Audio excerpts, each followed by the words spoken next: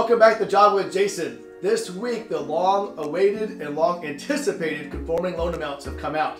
So, the government has come out and said the new conforming loan limits is $647,200. I am blown away. I remember first getting in the business and the maximum conforming loan amounts were $275,000. Now it's hard to even buy your first house for $275,000.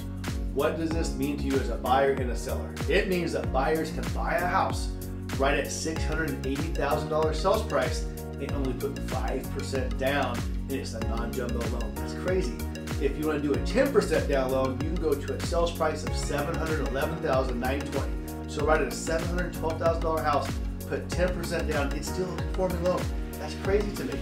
Uh, on the FHA side, FHA has changed our maximum FHA loan amounts to $420,680. Okay, that is three and a half percent down with very flexible credit requirements. So here's the good news: the rates are still really low, and you can buy a house with minimal down, almost up to seven hundred thousand dollars.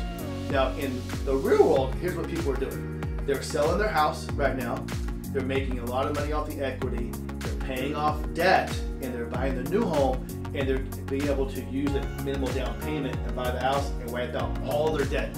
I just had a client do this. They sold their house, made more than they thought they would. Instead of putting the 20% down, they took about 15% of that and paid off all their student loans, about $120,000. It was life changing for them. They bought the house and their monthly cash flow was actually less. So these are some really cool things. If you have any questions on it, please give me a call. If you need a loan officer or someone to think outside the box, these are the creative things we do when we look at your overall mortgage application, mortgage package. Give us a call and have a great day.